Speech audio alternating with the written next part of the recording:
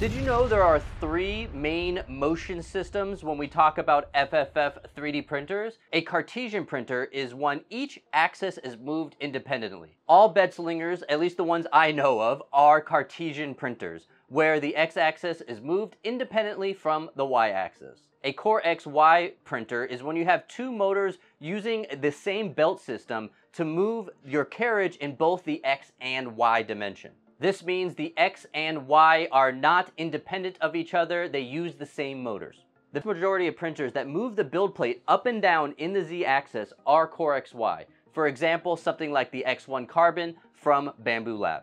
But there are actually unique printers that do not follow that rule. Something like the Ender 5 is actually a Cartesian printer, even though the build plate moves up and down in the Z axis. This is because the X and Y move independently of each other, even on that Ender 5.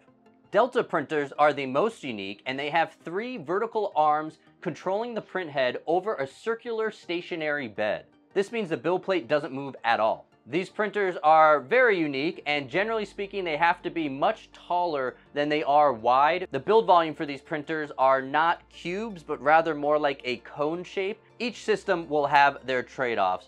Bed slingers, generally speaking, are going to be less expensive than the other options, which make them a great choice for new people to 3D printing. A major drawback is the bed slinger itself because your print will then wobble in the Y direction the faster you move and the more you accelerate. This can cause a lot of issues when you're printing really thin parts on a bed slinger printer because the wobbling will be caused by swaying that build plate back and forth very quickly. They are also more difficult to enclose because there is more volume being taken up by the build plate having to move all the way back and all the way forward. Core XY printers seem to be the favorite for a lot of makers out there. And one of the reasons is it can allow for a lot faster movements because you're just moving the extruder carriage and not a build plate. They also allow for some sturdy frames. They're pretty easy to enclose and you can stack them on a rack because they don't have to be super tall. That leads into a drawback of a Delta printer. In order to get larger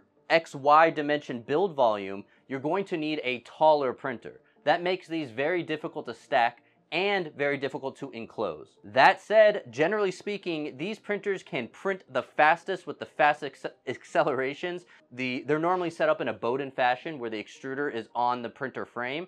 And then the motion system itself allows for very quick movements. Each system has their own pros and cons. Which is your personal favorite to print with? But did you know there are three main different motion systems for FFF 3D printing? The more you know.